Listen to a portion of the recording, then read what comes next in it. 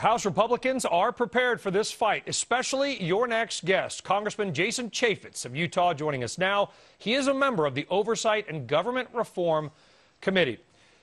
Congressman, we've already seen fights come out. We're seeing it over, you know, and money breeds strange bedfellows, right? Because you got the U.S. Chamber of Commerce and even the unions getting in bed together over some transportation issues. How big of a fight is this sort of unilateral funding issue going to be in the new year?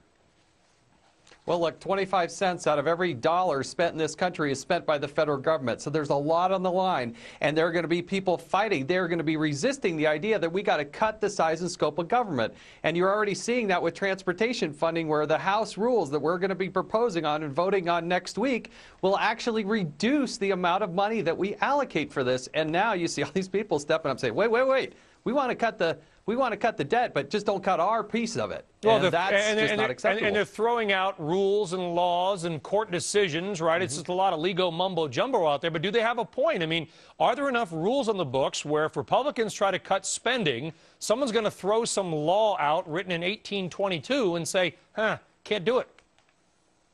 Well, look, if they're relying upon the law, great. But what I worry about is the Obama administration using its rulemaking authority to just unilaterally do something that they wouldn't be able to do necessarily in Congress. You see this with, with the EPA. You saw the Interior Department put out a press release and do an announcement on December 23rd, 3 p.m. in the afternoon, a day and a half before Christmas, to tie up uh, public lands out here in the West. It's just totally unacceptable, and the Congress is going to fight back, and they should. And David talked about the NLRB proposed rule about, you know, placards in employee workplaces notifying their right of them of their right to unionize if they want. But what can you do? What can you do against the EPA? What can you do against the National Labor Relations Board? What power do you have?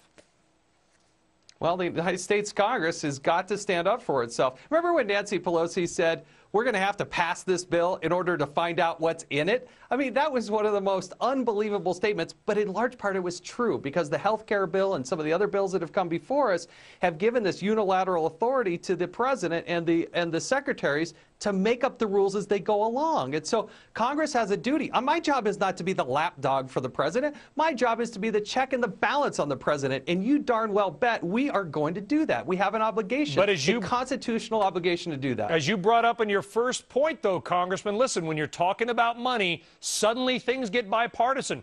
Don't cut my slice of the pie, whether it's GOP or Democrat. You're going to be in for a number of fights, even from the right, because nobody wants their purse cut.